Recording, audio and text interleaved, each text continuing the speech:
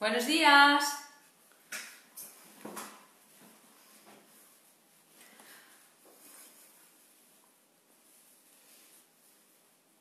Hola, buenos días.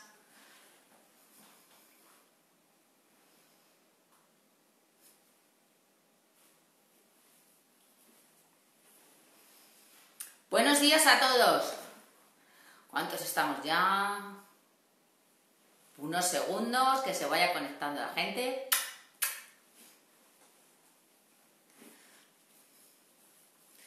Bueno, ya estamos unos cuantos. Buenos días. Miércoles nos queda muy poquito para empezar el mes de noviembre, cómo pasa el tiempo. Y hoy nos toca hablar respecto al embarazo. Todos los tratamientos que podemos realizar y las cosas que están contraindicadas. Antes de empezar con la base de, los tratamientos o las contraindicaciones, lo que eh, realmente vamos a ver qué es lo que ocurre durante el embarazo, sobre todo aquello que nos puede afectar a, nuestras prescripciones o nuestros tratamientos. Realmente la gestación es un, es un estado eh, puramente hormonal de la mujer, un cambio eh, muy grande, pero respecto a todas las glándulas de secreción interna, no solo y exclusivamente los valores de andrógenos y estrógenos. Parece que cuando se habla solo y exclusivamente de hormonas, se piensan en esas, en las generadas por las gónadas. Pero hay que tener en cuenta muchísimas otras. Realmente el ser humano es una reacción química constante y la reacción química constante se forma a través de las reacciones hormonales con todas las cosas que introducimos del exterior. Esta planta química de forma natural, porque yo llamo al organismo así, somos una verdadera planta química, pues es capaz, fijaos, de eh, proporcionar la fusión de dos células, dos células como es el espermatozoide y el óvulo, convertirla en una sola, que es el cigoto, el cigoto es una de las células eh, que llamamos totipotentes. ¿Por qué se llama totipotente? Porque es capaz de crear todas las células que van a formar un organismo. Ahora bien, una vez que se forman esas células, esas células se van a especializar en cada uno de los tejidos. A esas las llamamos células especializadas y solo y exclusivamente queda un grupo de células pluripotentes, que son aquellas que pueden formar algunos tejidos en eh, la médula espinal, con una zona relacionada con el feto que es el cordón umbilical, donde en ese cordón umbilical sí que quedan aún células totipotentes. Por eso es tan importante ahora que, bueno, pues eh, eh, informan de que se puede guardar y durante un tiempo se pueden tener esas células totipotentes que pueden curar prácticamente casi todas. Digo que casi todas porque todavía queda muchísimo por investigar las enfermedades que puedan aparecer en ese, en ese nuevo ser. Bueno, este proceso, este proceso de células totipotentes a células especializadas y que nos quedan un grupo de totipotentes, de pluripotentes, se queda eh, reducido a un proceso muy pequeño dentro del embarazo, prácticamente los tres primeros meses. Fijaos lo rápidos que somos en estructurar el conjunto prácticamente general. Luego solo queda la maduración de cada uno de los sistemas creados, pero en el tercer mes de vida fetal está constituido prácticamente todo el ser, excepto el sistema respiratorio, que el sistema respiratorio es que va a ser el último que vamos a, que vamos a utilizar porque somos eh, durante un tiempo más parecidos a los anfibios que eh, no necesitan la respiración pulmonar. Entonces, ese es el último que se forma. Durante todo este proceso, para que esto ocurra, lógicamente las mujeres generan esos estímulos hormonales a través de su organismo para proporcionar todos los nutrientes, todos los nutrientes que van a llegar a esas células. Realmente somos proporcionadoras de nutrientes, porque una vez que se ha creado la fusión celular, llegan los nutrientes, el organismo nuevo los utiliza y empieza su propia formación independiente. Solo y exclusivamente le creamos ese, ese nido o ese hábitat. Esas reacciones hormonales realmente son reacciones además muy, muy defensivas. Una de las, de las hormonas que más generamos durante el proceso de la gestación es la cortisona, el cortisol. El cortisol natural que, bueno, pues refuerza muchísimo el sistema inmunológico. Todos los humanos lo generamos porque es un mecanismo de defensa, es el que va a encargarse de que suba la histamina, si llega algo que nos va a agredir, eh, que nos defendamos mucho del medio exterior. Y en el proceso de gestación, esta destaca por excelencia. Seguro que habéis, oído hablar muchas veces o, habéis escuchado a, muchas personas que dicen, jolín, las, las, madres nunca se ponen enfermas, sobre todo eh, cuando es un, embarazo, una gestación eh, normal, cuando no tienes ninguna enfermedad ni eres una persona sana, ah, se pasa y nunca se ponen enfermas. A veces tienen otros hijos eh, que han enfermado, han cogido virus y tal, y los cuidan y, no nos contaminamos, no nos contagiamos. Eso, eso lo está generando ese refuerzo natural que eh, indica que durante ese proceso tengo que evitar mm, coger muchos eh, más virus o, algo que pueda afectar a nuestro bebé. Esto es importante porque esto tiene mucha repercusión sobre la piel. Eh, ¿Qué cosas pueden aparecer durante, durante el embarazo que a lo mejor si no hubiéramos estado embarazadas no hubieran aparecido? Pues lo primero, la fragilidad de la dermis. En la dermis este aumento de cortisona en sangre genera que la estructura de las fibras de colágeno estén un poquito más distendidas. Esa distensión genera también un efecto de una circulación periférica muchísimo más alta.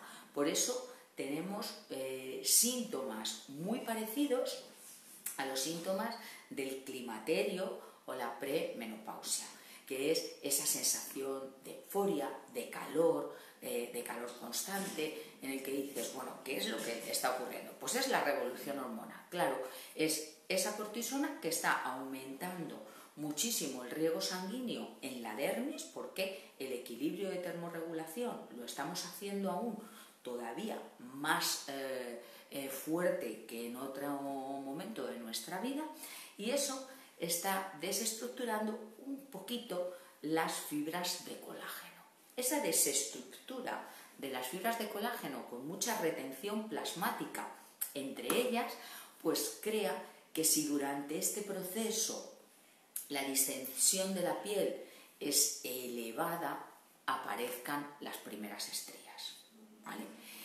Esto no es una característica fundamental del embarazo. Es algo que puede ocurrir, porque se dan casos de mujeres incluso con partos gemelares, partos múltiples, que no padecen de estrías, ¿de acuerdo? Pero la causa fundamental de esta rotura del tejido siempre es relacionada con el aumento de cortisona en sangre. Esto también ocurre en muchos casos en eh, la pubertad, en el crecimiento. Pero son estrías diferentes, son estrías que aparecen en las articulaciones, especialmente la cadera, y que las padecen hombres y mujeres, más la mujer, pero también se da en los caballeros. ¿vale? Entonces ya tengo la primera preocupación, la prevención. Va a ser muy difícil prevenir la subida de cortisona, porque eso va a ser lógicamente algo natural y fisiológico que debe de ocurrir pero si no, si ya tienes esa tendencia o ya partes de una piel estriada anteriormente, el hecho de no coger un exceso de peso durante el embarazo va a hacer que no termines eh, con más estrías. Esto es importante. Estos cambios también afectan mucho a la parte superior del rostro, porque es la parte más expuesta, sobre todo relacionado con la formación de melanina, lo que llamamos el cloasma gravídico. Os, recuerdo que eh, la estimulación del melanocito siempre es creada por acción de la dermis, temperatura, enrojecimiento, esto roce eh, genera estímulo sobre los melanocitos y luego los factores externos, que siempre son las radiaciones, especialmente el conjunto de radiación solar y la, gama de los ultravioletas, ¿vale? Son los que entran más eh, directamente y estimulan el melanocito. Pero tengo que tener muy en cuenta los otros tres factores, la temperatura, la rojez, sabemos que existen muchísimas marcas eh, pigmentarias postraumáticas, entonces hay que tenerlo muy en cuenta. Y por supuesto la temperatura, todo lo que sea roce, estímulo, lo tengo que tener eh, muy controlado. Por eso ahora veremos los tratamientos que no debo de hacer durante el embarazo, ¿vale? Ya tengo la tendencia a las estrías por aumento de cortisol, por supuesto, la formación de melanina, que en el caso del embarazo se llama cloasma gravídico, aparece en forma de paño y se da en las zonas donde el espesor de la piel es mucho más pequeño. Toda la zona del pómulo y la parte del frontal. También la zona de la nariz o incluso el centro de la barbilla. Son estas zonas porque es donde la vascularización siempre es mayor y por supuesto donde la exposición es más directa por morfología del rostro. A lo mejor en una barbilla muy huidiza no vamos a tener la parte externa, la radiación solar, pero por supuesto sí que vamos a tener la estimulación circulatoria, incluso en el labio superior. Ahora que digo el labio superior, hay unos datos curiosos, no sé si conocéis, pero existe una técnica que se llama eh, morfología del rostro, cómo se representan los, los órganos en nuestra, en nuestra cara, exactamente igual que aparecen en el pabellón auditivo, sobre las manos o sobre las plantas de los pies.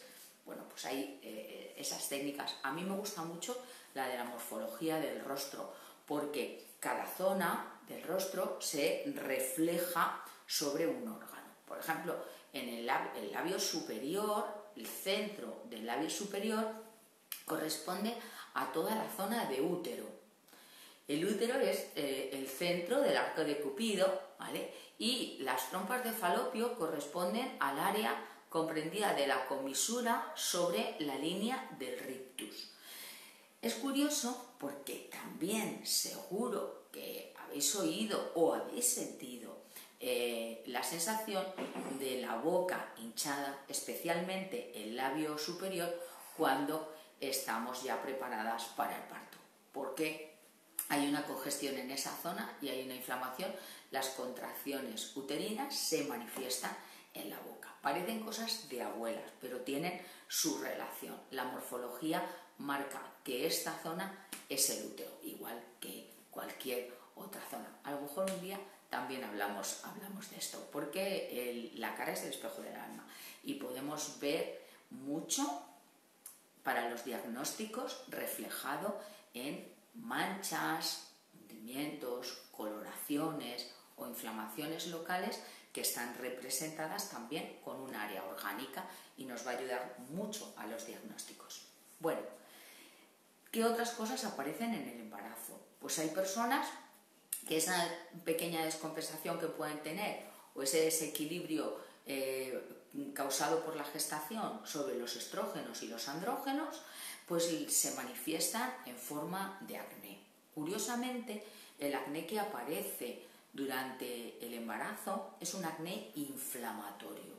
Tiene unas características papulosas, no pustulosas. En muchos casos observamos que justo la zona relacionada con estos órganos, eh, pues aparecen estos elementos inflamatorios, dolorosos, que nunca terminan en pústulas. ¿Por qué? Porque no es un acné ocasionado por agentes externos, es un acné ocasionado por agentes internos. Por supuesto, jamás se debe de abrir ni una de estas lesiones. Esto es importante. Todo lo que sea abrir una lesión eh, que no es intrafolicular, no se ha creado en el interior de un folículo porque ha entrado una bacteria, sino que la piel se está inflamando o está teniendo una reacción eh, de expulsión por alguna causa endógena, no debemos de lesionar y drenar, porque esto puede complicar el problema. Y este problema es que se infecte, que entren Staphylococcus y Propinobacterium del exterior y lógicamente ya tengo algo más de lo que tenía. Fijaos, elementos inflamatorios, papulosos, jamás se deben de abrir, ni por nuestra parte en los centros de estética y por supuesto es lo primero que tengo que indicar a la clienta. Ahora veremos a ver cómo tratamos este tipo de cosas. Bueno, pues en general, ¿qué debemos de eh, trabajar?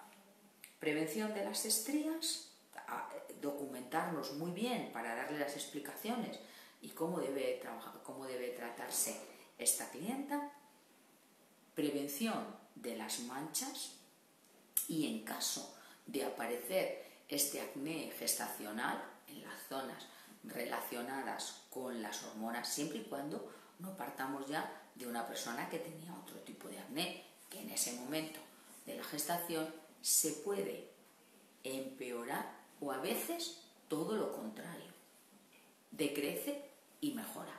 Mucha gente que parte en una gestación con problemas de pieles anteriores y durante la gestación desaparecen, Simplemente por esas reacciones eh, naturales. Otra cosa que tengo que tener también muy en cuenta es que la deshidratación epidérmica es mucho mayor. Generada por ese estímulo circulatorio de la dermis, la proliferación celular es un poco más rápida en la superficie de la piel, con lo cual aumenta mucho la deshidratación.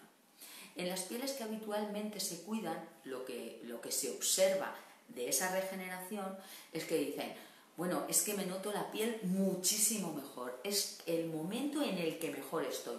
Claro, es una piel cuidada, es una persona que tiene un hábito de higiene hidratación con sus cremas constante, entonces su piel se está aprovechando de esa regeneración, de ese estímulo masivo durante ese problema, durante ese, mm, durante ese tiempo, perdón. Pero las personas que no tienen esos hábitos, entonces empiezan a notarse la piel mucho peor, porque esa regeneración eh, brutal sumada a que no hacían técnicas de soleación, no se aplicaban cosmética, tenían pieles muy secas, en la primera fase puede ser una reacción bastante desagradable, es decir, jo, noto la piel rarísima, áspera, mm, mm, descamada, muy tensa, y es porque están regenerándose todos esos corneocitos y se están apelmazando en la superficie. Otra cosa que tengo que tener en cuenta, por supuesto, la hidratación. Y luego hay procesos a largo durante, eh, no la primera, la primera fase, que ahora la diferenciaremos, sino a medida que, se va cumpliendo el tiempo de la gestación, donde ya a nivel corporal podemos tener eh, una sintomatología unos cambios importantes. Básicamente sobre la circulación sanguínea. Esto no aparece en el primer estadio, como os digo, que es eh, los tres primeros meses, aparece a partir del segundo trimestre y eh, bueno, pues esa presión, esa presión sobre la zona ilíaca con el volumen del bebé va creando eh, problemas circulatorios, sumado a que además podamos tener genética con este tipo de trastornos. En muchos casos a partir de este mes también hay, una glándula de secreción interna muy importante que a veces se descompensa el páncreas. Por eso aparece esa diabetes ocasional en, muchas mujeres durante el proceso de gestación.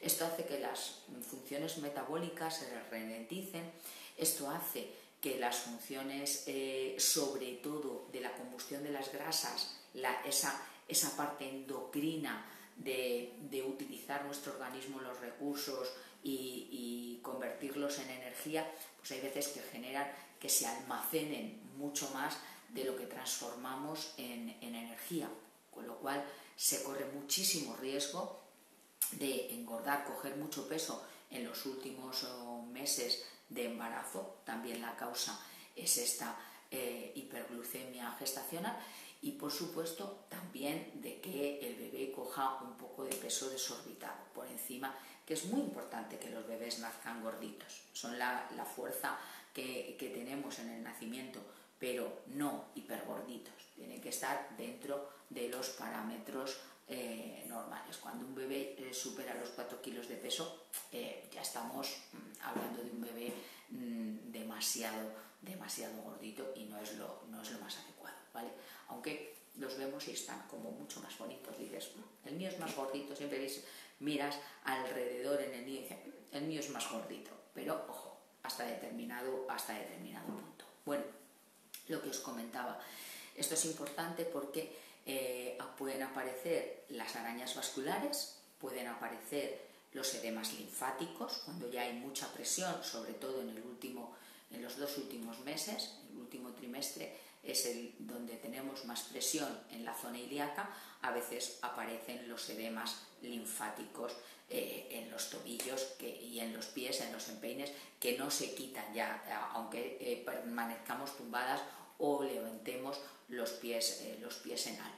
Esto es algo en lo que nosotros también podemos ayudar muchísimo. Esto va a complicar, lógicamente, las personas que lo padecen, que en un momento dado, después del embarazo, padezcan de una celulitis que no habían tenido anteriormente. Pero bueno, eso lo trataremos lógicamente después. Vamos a ver cuáles son los tratamientos que podemos realizar. Respecto a tratamientos corporales, en el primer trimestre no se debe de realizar absolutamente nada. Solo y exclusivamente se pueden trabajar técnicas manuales de masaje que no afecten directamente al abdomen.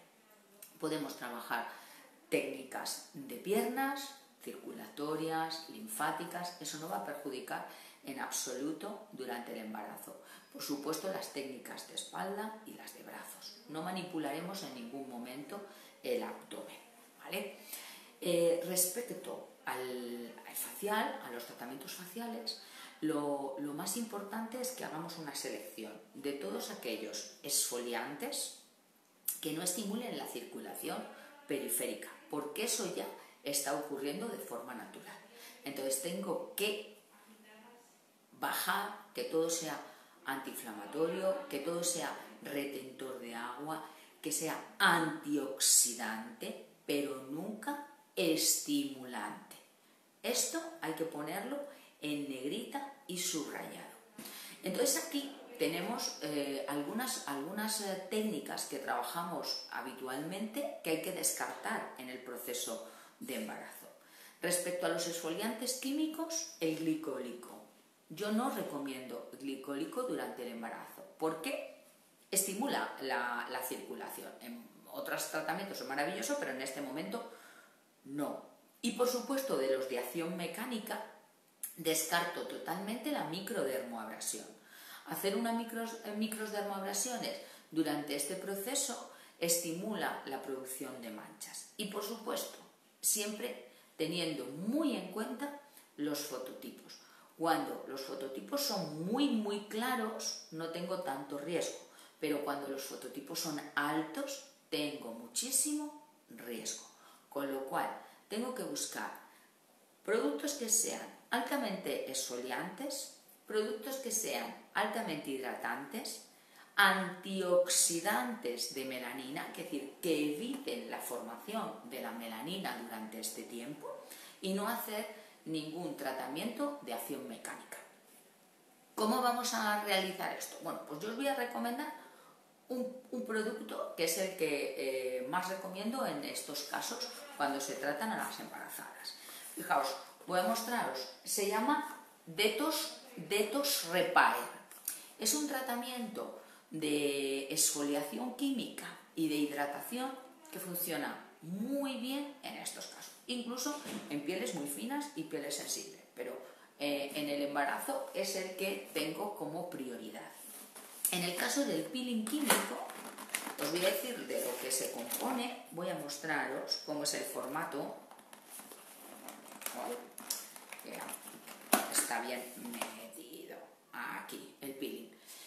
El peeling químico viene con un gotero, es un serum geloide, ¿vale? Su composición es lactobiónico, ya hemos hablado de él, ese ácido que se extrae eh, del maíz y que tiene la posibilidad de esfoliar y de reparar, regenerar, pero sin estimular nada la circulación periférica.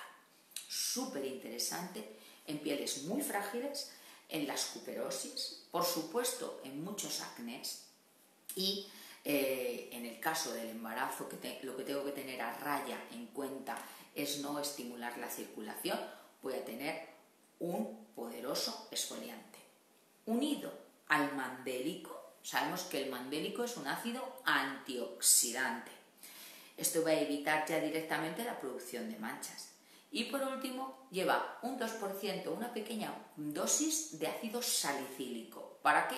Para que si coincide que este producto lo estamos aplicando en pieles grasas, pues sabéis que el, salicílico es un beta-alfa hidroxiácido que tiene la capacidad de ser miscible con la grasa. Si no hay grasa, el campo de actuación es prácticamente nulo, pero si hay grasa, es miscible con ella, con lo cual limpia muy bien todos los conductos de los folículos pilosebáceos. Fijaos, si esta cliente en proceso de gestación tiene tendencia a las pigmentaciones, ya tiene la vascularización, porque esto ocurre siempre en todos los embarazos, y además tiene una piel que pueda eh, tener acné, vamos a eh, tratarla correctamente. Independientemente de que tratamiento de tos repair, yo siempre lo tengo en vitrina porque en las pieles en las que veo algo mm, que no me cuadra o que no las he tratado nunca, que mm, puedan tener algo de riesgo, lo utilizo muchísimo. Es uno de los exfoliantes que también más recomiendo para los fototipos altos, porque tienen esa regeneración, tienen ese proceso de renovación que necesitamos sin alterar para nada la circulación periférica. Este es el peeling. Por supuesto, cuando hacemos un peeling químico siempre tenemos que recuperar mucho eh, la piel, sobre todo con las ceramidas. Eh, tenemos que mm, aportar sustancias hidratantes.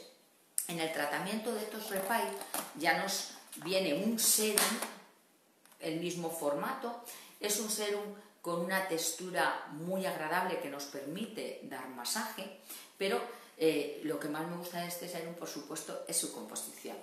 Es rico en tocoferol, vitamina E. La vitamina E es la vitamina antioxidante y antienvejecimiento por naturaleza. Tiene ese efecto no oxidativo de los radicales libres que cuando tenemos los niveles de oxígeno en la dermis muy altos es muy fácil por esa temperatura cuando es radiación solar o simplemente por mis reacciones hormonales que aumentan la temperatura local de la dermis, necesitamos esos antioxidantes. Entonces, el tocoferol eh, es muy, muy interesante en estos casos. Y por supuesto lleva un extracto de pasiflora, me encanta, la pasiflora tiene efectos sedantes, antiinflamatorios. Perfecto eh, la dosis de ácido hialurónico que lleva. Es un cóctel muy interesante para mantener pieles, todo tipo de pieles, muy hidratadas, flexibles y con efectos antioxidantes. ¿vale? Este es el serum con el que daríamos masaje. Y luego, por último, tiene una mascarilla, en, este caso la mascarilla de Tos Repair es una mascarilla hidratante y calmante. Avena sativa, gel aloe vera, mm, todo muy descongestivo, muy calmante, pero con propiedades hidratantes. En este caso esta mascarilla es en forma de gel. Os digo que es en forma de gel porque cuando hablo de estas mascarillas tienen un interés para otros eh, tratamientos. Es una mascarilla en forma de gel transparente que lo que va a crear también es que si la quiero combinar con la tecnología LED, pues puedo combinarla perfectamente. Ojo, cuando queremos trabajar tecnología LED eh, en una persona en proceso de gestación, tenemos que tener muy en cuenta los tiempos de aplicación de esta tecnología, porque al final aumenta un poquito la temperatura local. Entonces siempre vamos a reducir los tiempos de aplicación simplemente a 10 minutos. Igual que en los fototipos también más altos. Las técnicas, estas vamos a reducirlas en el tiempo y las estimulantes no las utilizaremos nunca, que sería el color rojo. Trabajaremos siempre con el azul o con el verde, que es inhibidor de melanina. ¿Vale? Descartamos dermoabrasiones, descartamos, por supuesto, todo lo que sea estimular la circulación. Una radiofrecuencia. Es curioso, muchas veces me preguntáis, ¿es que la radiofrecuencia en el embarazo, por el hecho de ser radiofrecuencia y ser aplicado durante este, no afecta al embarazo?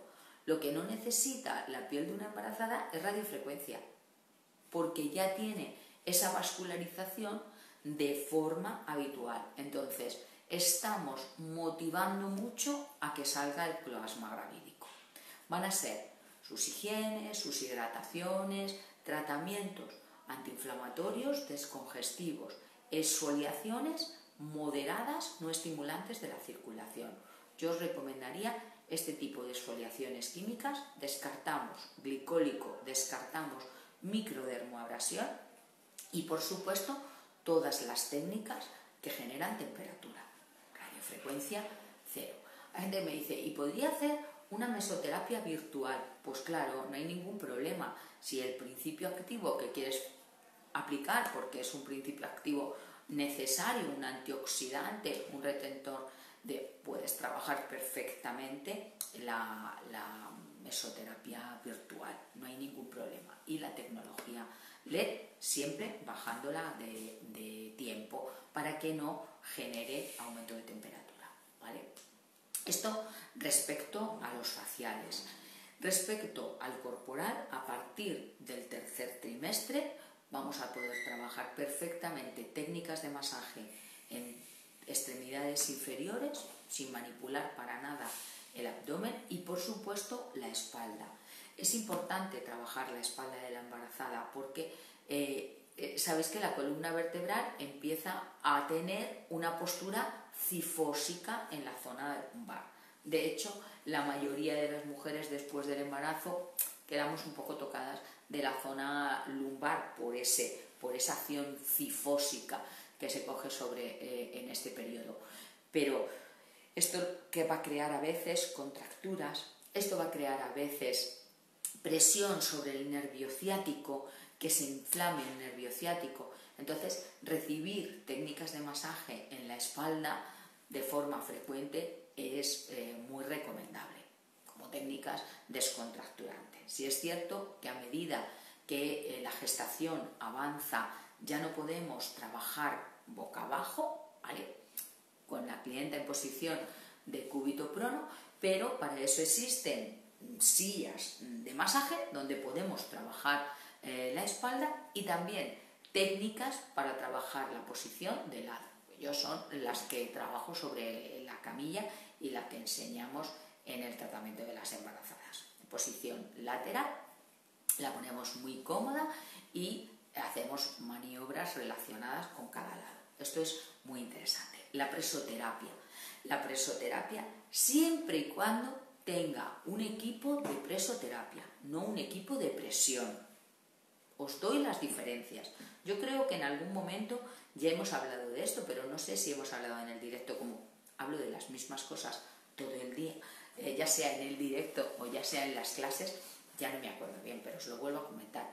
Un equipo de presoterapia es aquel que tiene cada salida que va a cada sector de el mono, las botas o los, complementos que, tiene la presoterapia salen de forma independiente de la máquina. Quiere decir, yo por ejemplo tengo una presoterapia con 14 sectores. Bueno, pues entonces esos 14 tubos tienen que salir de 14 orificios del equipo, ¿vale? No es una presoterapia cuando tengo 6 salidas, 6 tubos que se dividen en 12 o 7 tubos que se dividen en 14. Esto es de suma importancia porque es lo único que va a crear que las presiones sobre el lado derecho y sobre el lado izquierdo sean perfectas, sean iguales. Es también muy importante en un equipo de presoterapia que los sectores no vayan cosidos, sino que vayan solapados a modo de escamas uno sobre otro. Eh, esto es eh, de suma importancia para poder llegar a hacer un tratamiento de drenaje linfático. Por ejemplo, en el caso de la presoterapia eh, que yo tengo en el departamento de formación, es la de unión láser que se llama LIBIS e incluso tiene un programa establecido para embarazo. Además se llama así, embarazo. Si tenéis un programa preestablecido para embarazo, ojo, no eh, podemos a lo mejor hacer un tratamiento correcto, porque un linfático no es presiono el pie, suelto, presiono el tobillo, suelto, no. Un linfático hecho con una presoterapia primero tiene que llenar los canales de inguinal y laterales de costados, cuando vacía de forma proximal esos, esos eh, canales, empieza a trabajar de proximal a distal, mantiene y suelta todo. Esto es muy importante y los equipos de presión que se dividen en sectores no lo hacen. A partir del tercer mes podemos aplicar la técnica de presoterapia y las técnicas manuales que van a favorecer mucho a que esta clienta no padezca de microangiopatías, arañas vasculares y de edemas linfáticos a largo plazo. Por supuesto ya estamos previniendo la posibilidad de tener celulitis para no tenerla que tratar después del embarazo. Otra cosa eh, de suma importancia en estos tratamientos es mantener la piel del cuerpo muy hidratada. Por supuesto, que no coja mucho peso si ya tiene tendencia a las estrías anteriormente, porque si no se va a estriar, pero tener la piel del cuerpo muy hidratada es muy interesante para evitar también esa, formación de estrías. Hay cantidad de productos eh, antiestrías que no están recomendados durante el embarazo, porque sobre todo aquellos que tienen aceites esenciales los contraindicamos totalmente. Ahora también se está contraindicando mucho el mentol y el eucaliptol, ¿vale? Esto está presente también en muchas cremas corporales. Para evitar este tipo de problemas, yo siempre os recomiendo que utilicéis un aceite, o recomendéis un aceite vegetal completo y que sea natural. La mayoría de las personas dicen aceite de almendras dulces, pero bueno, el aceite de almendras dulces tiene una cantidad de vitamina A muy, muy interesante, que renueva mucho eh, la, la, epidermis. La vitamina A es el retinol. Entonces, eh, eso es eh, lo que más destaca en la composición de unas almendras dulces. Pero también, si tenemos otro tipo de aceites mezclados con el almendras dulces, vamos a tener unas características de piel muchísimo mejor. Yo os recomendaría que, que, que aplicarais y que vendierais a vuestro cliente el Vegetal Plus. El Vegetal Plus de CV es un aceite vegetal natural que está formado por aceite de almendras dulces, rosa canina, muy interesante en propiedades regeneradoras, vitamina E a tope, germen de trigo. El germen de trigo es súper rico en vitamina E, que hemos dicho que es un antioxidante eh, fantástico. Y luego, por supuesto, lleva caléndula. ¿Qué hace la caléndula? efecto antiinflamatorio. Lo puede utilizar la embarazada, por supuesto, en todo el cuerpo, insistiendo siempre mucho, zona de abdomen, zona de cadera y los senos. Los senos no se pueden olvidar porque también es una zona que se va, se va a estriar.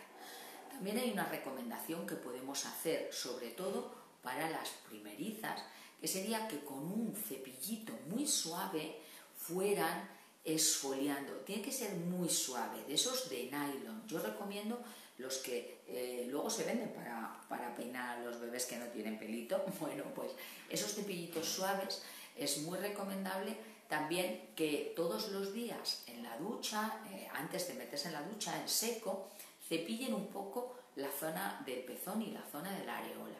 Esto va a crear un sobreestímulo epidérmico y va a reforzar esa zona de cara a la lactancia para evitar luego grietas, fisuras. Ahora hay cantidad de ginecólogos que lo están, eh, lo están recomendando para que haya una, una estimulación. Nunca recomendaremos esfoliantes, ¿vale? Pero sí esa acción mecánica que ya está creando una esfoliación con un cepillo suave. Y por supuesto, el Vegetal Plus. Este aceite también se puede aplicar perfectamente en los bebés, es decir, puede ser un aceite para utilizar toda la familia, tanto en seco como a la gente que le guste con humedad, aplicárselo y luego quitarse el resto de humedad con la toalla. Perfecto para estos casos. Y por supuesto, en casa, en esos mantenimientos faciales, es muy importante que en uno de los productos que utilice eh, tengan vitamina C, que es un antioxidante para mantener a raya las, eh, las manchas. Y os recomendaría los proteoglicanos de Anubis con vitamina C. Su serum el proteoglicano, sabéis que el ácido hialurónico es un proteoglicano, retiene mucho la humedad en piel, es un hidratante por excelencia y es un serum muy rico con vitamina C para evitar esas pigmentaciones. Bueno, pues os he contado una parte, no todo. Siempre tiene que quedar algo para poderos contar en otra ocasión. Vamos a ver las preguntas que tenemos.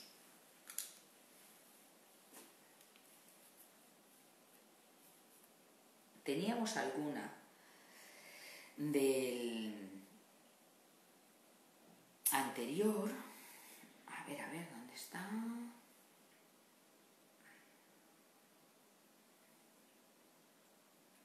Aquí. Tenemos, eh, ah, me preguntaba Eva Cornejo, me decía, eh, gracias por el vídeo del Haifu, se refería al vídeo que hicimos para la feria, la feria online. Eh, yo el, el transductor de 3 milímetros lo paso en la misma dirección del de 4,5 y te he escuchado que el de 3 milímetros lo pasas haciendo una malla. Es decir, si el de 4,5 lo paso en horizontal, el de 3 milímetros le tendría que pasar en vertical eh, para crear la malla. Efectivamente, Eva, esa es, eh, esa es la diferencia. Tú eliges la posición del más profundo y luego el otro pues lo trabajas en posición contraria. Es una forma de tener líneas ahí y líneas eh, en las, y que no nos quede ni un solo hueco sin, sin tratar.